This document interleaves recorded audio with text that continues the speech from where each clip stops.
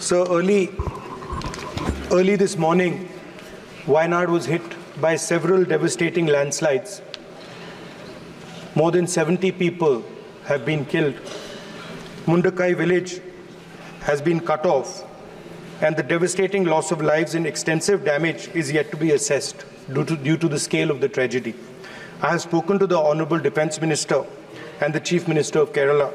I request the Union Government to extend all possible support for rescue and medical care, immediate release of the compensation to deceased people, if that compensation can be increased as well, restore vital transport and communication lines, set up relief at the earliest, and prepare a roadmap for the rehabilitation of the affected families.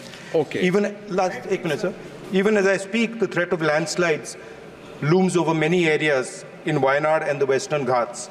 Our country has witnessed an alarming, alarming rise in the landslides in the last few years. There's an urgent need for mapping of landslide prone areas and to take up mitigation measures and an action plan to address the growing frequency of natural calamities in the ecologically fragile region. Thank you, sir.